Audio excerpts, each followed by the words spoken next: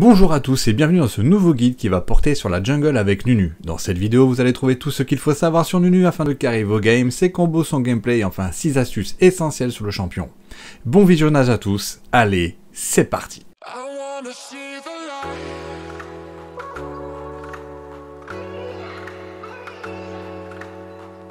Pourquoi jouer Nunu Jungle? Toujours présent en tête des classements des meilleurs junglers depuis maintenant plusieurs saisons et disponible pour seulement 450 essences bleues, Nunu est le parfait personnage pour apprendre la jungle de manière fun mais aussi de manière efficace. Vous êtes prévenu, Nunu n'est clairement pas le personnage qui va faire le plus de dégâts tout le long de la partie puisque c'est un tank utilitaire, mais ne vous fiez pas à son air innocent car vous allez être très rapidement surpris par sa capacité à carry les parties puisqu'il excelle dans le contrôle de tous les objectifs notes de la carte ou encore dans le counter jungling. Ses ganks sont grâce à sa boule de neige géante fun et atypique mais d'une efficacité redoutable lorsque vous arrivez à toucher une cible. Le truc, c'est d'arriver à bien conduire votre Yeti, qui est selon moi assez intuitif, et vous y arriverez de mieux en mieux au fur et à mesure des parties effectuées. Et enfin, son sort ultime zéro absolu qui est extrêmement compliqué à canaliser à 100%, mais qui restera à jamais gravé dans votre mémoire si vous l'effectuez sur 5 personnes en même temps pour un ace quasi garanti. Quels sont les avantages à jouer Nunu Donc il est facile à prendre en main, il possède un énorme sustain dans sa jungle grâce à son A, il a de très bons ganks grâce à son Z, il possède des bons CC, il a un énorme burst de zone avec son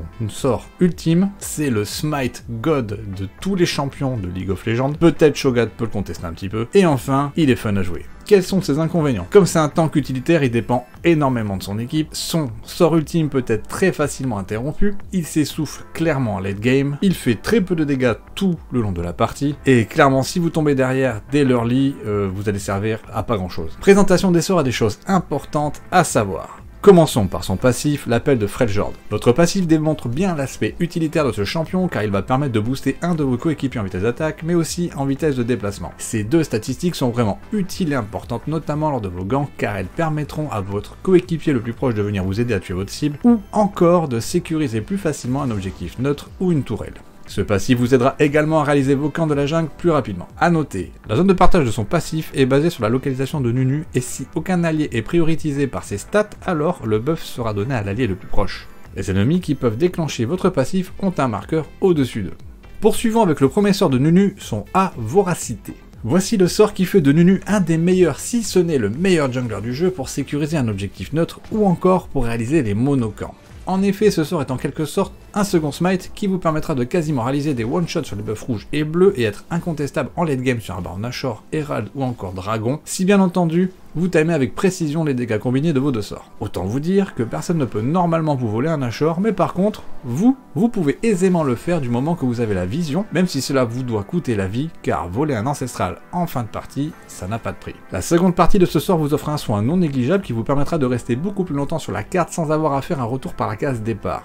La conséquence majeure de cela est que vous allez considérablement augmenter la pression sur la carte autour des objectifs neutres, mais aussi des camps de votre adversaire. Par exemple, si après un victorieux combat contre votre opposant direct, vous survivez avec peu de points de vie, vous pouvez alors tranquillement vous diriger dans sa jungle pour vous soigner et lui faire perdre de l'expérience en lui volant ses camps. Tout simplement diabolique. A noter, les boucliers anti-sort vont bloquer les dégâts et les soins. Si la cible devient inciblable ou est trop loin ou encore n'est plus dans le champ de vision pendant l'activation, alors Voracité sera annulée et ne partira pas en cooldown. Enchaînons avec son Z, boule de neige géante. La boule de neige géante de Nunu est sans aucun conteste l'outil qui vous permettra de réaliser des gangs dévastateurs sur les lanes. Cela fonctionne globalement comme le sort de Sion, c'est-à-dire que vous n'avez pas à cliquer, mais à indiquer la direction que vous souhaitez prendre avec le curseur de votre souris. Votre boule de neige grossira et prendra de la vitesse au fur et à mesure que vous avancerez pour s'arrêter sur une structure ou un champion ennemi, et dans le pire des cas, elle finira sa course seule. Plus vous partez de loin, plus vous arriverez vite, et il sera plus difficile pour vos adversaires de réagir, mais il sera aussi difficile pour vous d'ajuster la trajectoire dans le cas d'un flash. Si cela peut vous aider, les gangs de Nunu sont un peu similaires aux gangs des Karim. Si votre boule de neige rencontre un ou des champions sur son passage, ces derniers seront alors projetés en l'air avec une durée et des dégâts proportionnels à la grosseur de votre boule. Néanmoins, il est toutefois possible d'utiliser votre boule de neige au corps à corps afin de juste profiter de la projection et de son reset auto-attaque. A vous de juger, suivant la situation, comment vous allez devoir utiliser votre boule de neige, soyez malin. A noter, la première et seconde activation du sort sont toutes les deux comptées comme des activations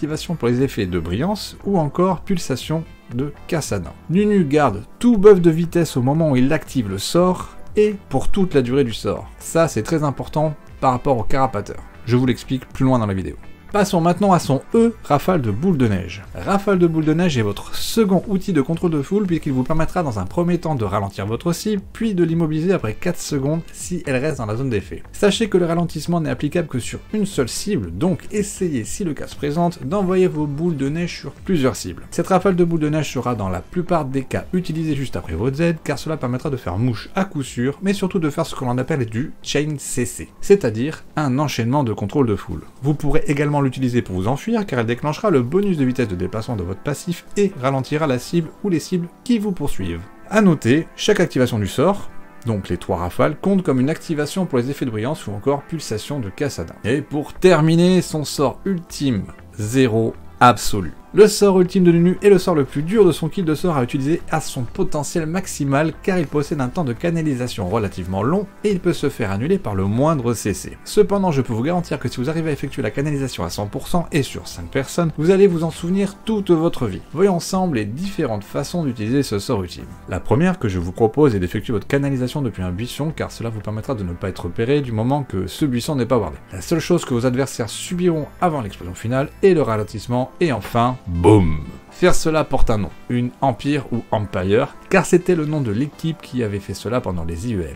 La seconde façon est d'attendre que vos ennemis aient utilisé la plupart de leur CC pendant un teamfight et ensuite lancer la canalisation de votre sort au milieu de tous vos adversaires avec de grandes chances que vous puissiez la canaliser au moins à 75%. Et enfin, puisque votre canalisation vous offre un bouclier, vous pouvez aussi utiliser votre R comme moyen défensif. Cela peut être très utile, surtout lorsque vous avez une prime conséquente sur votre tête. Pour conclure sur cette ultime, je dirais qu'il est une si grosse menace dans le cas d'une canalisation complète que vous vous ferez interrompre à coup sûr votre canalisation. Mais si l'équipe adverse gaspille DCC juste pour vous, cela laissera donc le champ libre à vos carrés AD AP. A noter, la zone d'effet n'est pas visible si l'équipe ennemie ne possède pas la vision sur Nunu, il est possible de faire aucun dégât si votre canalisation est immédiatement interrompue, voici une liste des sorts et des objets que vous pouvez utiliser pendant la canalisation sans l'interrompre. Build et maîtrise. Comme je souhaite que ce guide reste à jour le plus longtemps possible, je ne vous parlerai pas des maîtrises et des builds dans cette vidéo, mais sachez qu'en ce moment Nunu se joue avec Rush Phasic et ce build Temple. Vous pouvez trouver un build et des maîtrises à jour sur le site u.gg par exemple, et vous trouverez un lien ci-dessous au sein de la description. Sachez tout de même que vous devez adapter vos maîtrises et builds en fonction de votre match-up direct, mais aussi de la composition de l'équipe adverse. Astuce Astuce numéro 1 Alors, qui est le meilleur ami de Nunu? Eh bien, c'est Jean-Michel Carapateur. Et pourquoi? Eh bien, le cercle où se situe la ward du Carapateur est un buff de vitesse et cela synergise à merveille avec votre boule de neige. Donc, avoir les Carapateurs en votre faveur, c'est comme posséder une rampe de lancement pour tous vos ganks vous suffira d'enclencher votre Z en étant situé au sein de ce cercle pour cumuler le buff de vitesse du carapateur avec celui de votre Z. Le résultat, c'est des gangs supersoniques et dévastateurs. Astuce numéro 2. À la 20e minute de chaque partie apparaît le baron Nashor et généralement votre A est au rang 5 depuis déjà très longtemps. Je sens que vous me voyez venir. Eh oui, Nunu est dans la capacité de pouvoir faire n'importe quel monstre neuf de la carte en solo. Il suffit juste de s'assurer que l'équipe ennemie ne possède pas la vision et qu'il soit occupé à faire autre chose, par exemple défendre la tourelle mid-bot. N'hésitez pas à call cela dans le chat en demandant à votre équipe d'aller push à 4 en bot lane pendant que vous faites un sneaky nash. Bien entendu, si votre top laner est dans les parages, ce ne sera que mieux car il profitera de votre passif pour une exécution encore plus rapide. Astuce numéro 3. Lorsque vous faites vos camps au sein de la jungle ou encore un monstre neutre, n'utilisez jamais votre E pour les deux raisons suivantes. La première, c'est que ça fait quasiment aucun dégât. Et enfin, la seconde, c'est que cela vous permettra de vous enfuir en lançant une boule de neige chez votre ennemi, lui appliquant un ralentissement, mais aussi en déclenchant sur vous le buff de vitesse de déplacement octroyé par votre passif. Donc, gardez votre E pour sauver votre city. Astuce numéro 4. Une petite astuce qui a tout de même son importance. Sachez que votre A, l'indicateur de votre sort, sera en surbrillance lorsque vous serez à 40% de vos points de vie. C'est un très bon indicateur visuel qui vous permettra de profiter du soin maximum de votre A. Astuce numéro 5. La hitbox de votre grosse boule de neige est suffisamment importante pour pouvoir toucher un ennemi qui est derrière sa tour ou encore derrière une structure assez fine. C'est encore un petit détail mais qui peut faire la différence pour engager un ennemi qui se pensait en sécurité. Astuce numéro 6.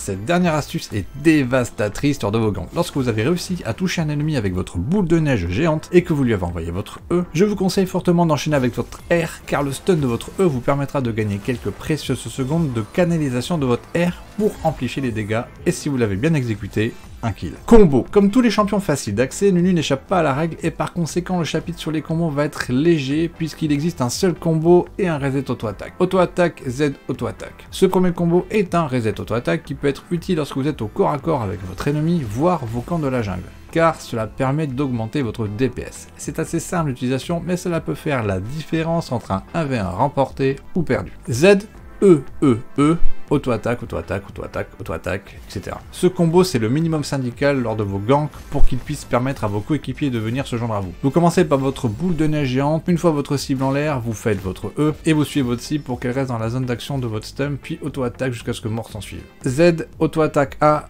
E, E, E. Donc ça, c'est une autre variante du premier combo car c'est celui que vous allez devoir exécuter pour faire déclencher le rush phasique juste avant de commencer à lancer les boules de neige de votre E. Donc vous commencez par votre boule de neige géante, une fois votre cible en l'air, vous faites une auto-attaque enchaînée avec votre A. A partir de ce moment-là, le rush phasique se déclenche et ce sera beaucoup plus simple pour vous de réussir vos E tout en restant collé à votre cible. Gameplay. Je ne veux pas vous mettre la pression, mais si vous êtes toujours en train de regarder la vidéo, c'est que vous souhaitez réellement apprendre à jouer Nunu. Je tiens donc à vous mettre en garde car il va falloir vous sortir les doigts dès le début de la partie car si vous n'êtes pas actif sur la carte, eh il y a de fortes chances que vous allez perdre. Early game, c'est le moment de la partie où Nunu va pouvoir faire preuve de tout l'étalage de la puissance de son kit de sort, car Voracité vous permet de faire les camps avec un seul monstre à une très grande vitesse, tout en vous redonnant des points de vie, et pour vous déplacer d'un camp à l'autre, vous avez votre Z qui augmente votre vitesse de déplacement, tout en faisant des dégâts de zone à l'impact, ce qui est très pratique pour les loups, raptors et les krugs. Pour réaliser votre premier clear de jungle, vous allez commencer avec votre A puis votre Z.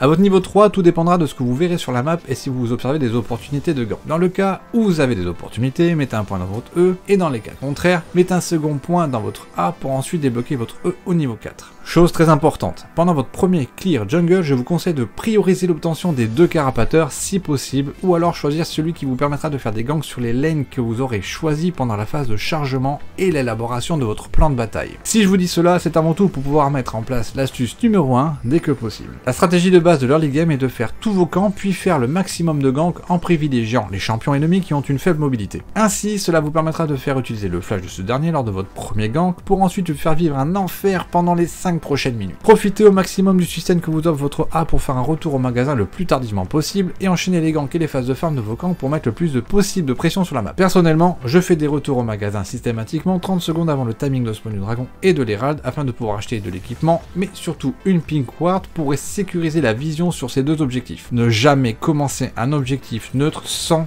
avoir une pink. Votre objectif principal avec Nunu, c'est de mener votre équipe à la victoire grâce aux objectifs neutres. En gros, avoir l'âme du dragon dès la 20 e minute doit être votre but ultime dans chacune de votre partie. Évidemment, ça ne sera pas toujours possible, mais si ce n'est pas vous qui avez la priorité par exemple, vous pouvez toujours tenter un vol du dragon avec votre combo Smite plus A, et cela même au péril de votre vie. Une dernière chose, si vous avez l'opportunité de faire du counter jungling, c'est-à-dire voler les camps de votre adversaire, eh bien, c'est cerise sur le gâteau. En résumé, l'early de Nunu c'est gang farm, gang dragon, gang farm erad, etc. Les ennemis doivent avoir l'impression et la sensation que vous êtes partout mid-game. Lorsque vous attaquez le mid-game, normalement vous devez avoir en votre possession 2 voire 3 dragons, ce qui est un énorme avantage pour toute votre équipe. L'objectif majeur est bien entendu de continuer à sécuriser tous les dragons afin d'obtenir l'âme, continuer à réaliser des gangs sur les cibles qui se trouvent seuls, obtenir le baron Nashor, et aussi une autre chose très importante qu'il va falloir commencer à faire c'est la protection de vos carries. Donc, lors d'escarmouches ou de teamfight, votre rôle sera d'utiliser tous les contrôles que vous avez en votre possession pour empêcher les ennemis d'arriver à atteindre vos carries. Car ne l'oubliez pas, vous êtes un tank